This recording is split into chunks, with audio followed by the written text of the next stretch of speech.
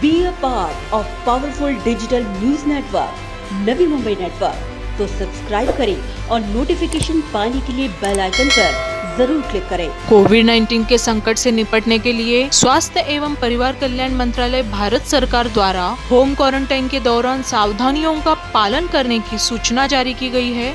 स्वास्थ्य एवं परिवार कल्याण मंत्रालय, भारत सरकार ने लोगों को अपील की है कि हमें मिलकर कोविड 19 से लड़ना है। कोविड 19 को फैलने से रोकने के लिए मदद करें, घर पर रहे और सुरक्षित रहे। यदि आपको बुखार, खांसी या सांस लेने में कठिनाई महसूस हो रही है तो तुरंत सूचित करें और 1075 टोल फ्री नंबर पर कॉल करें। Ministry of health and family welfare ने जारी की सूचना के अनुसार आइए पता करते हैं कि होम क्वारंटाइन के दौरान क्या क्या सावधानियों का पालन करने की अपील की गई है।